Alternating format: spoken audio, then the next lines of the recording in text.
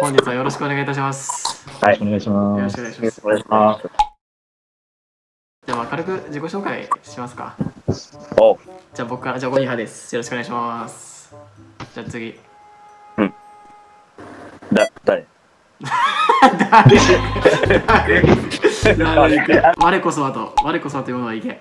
はい。神です。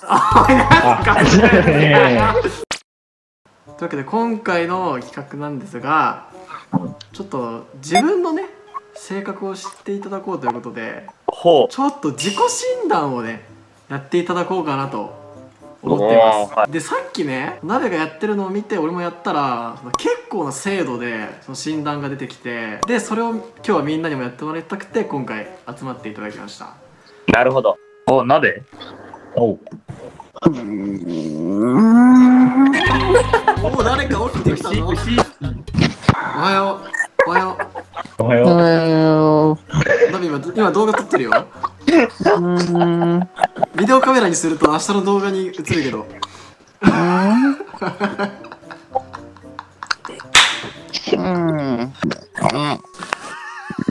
いやいや正解は鍋の方なんだよな。じゃん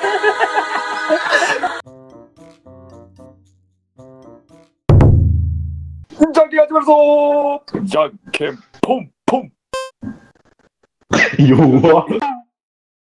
発表します。はいあとこれスクショしようかな。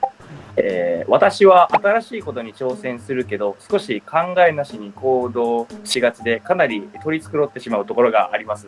最も重要な性格要素前向きすぎる。物事を受け入れるスピードが速く挑戦してみて失敗することを恥ずかしい子だと思ってません、えー新作や新製品という言葉に弱く新しいものが出ると手にしてみたくなりますが試してみてから考える勝負なので許してください。ガチで俺だわこれ。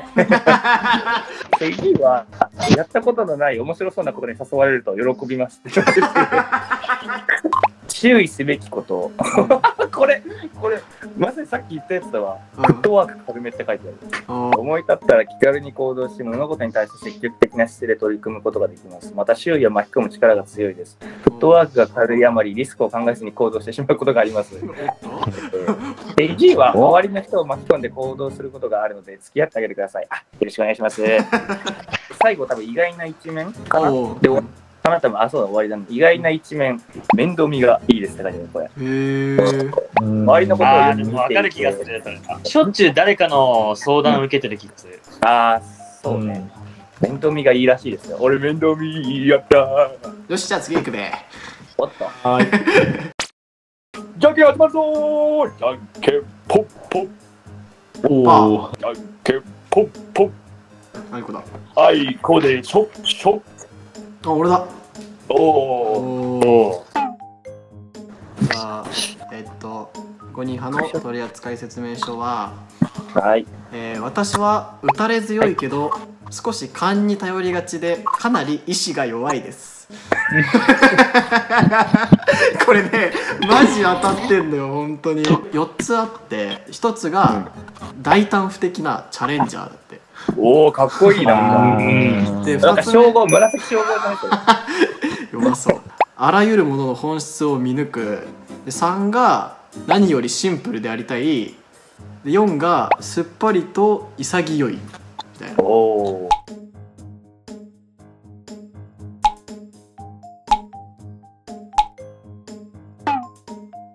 えー、神谷さんを一言で言うと、えー、私は集中力が高いけど、少し感情移入しすぎて、かなりメンタルが弱弱めです。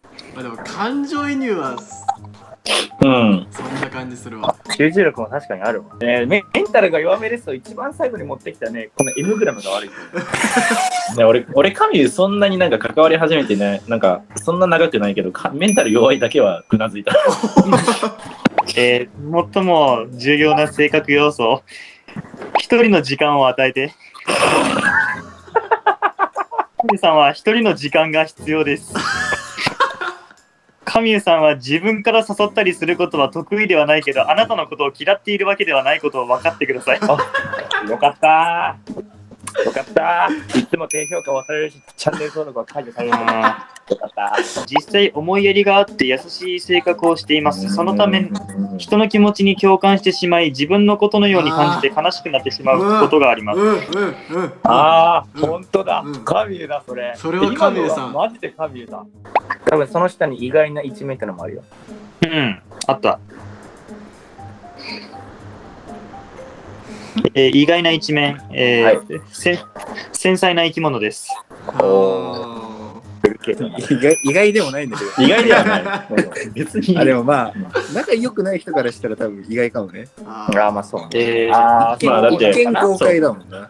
神最初関わってなかったのになんかだ第一印象でなんか俺嫌われてるみたいな感じのこと言われたらびっくりしたもん。うん俺何もしてないんだけどなそれはさ太陽だってさ基本的に初対面としてまず嫌いから入るんだってそんなことないよ。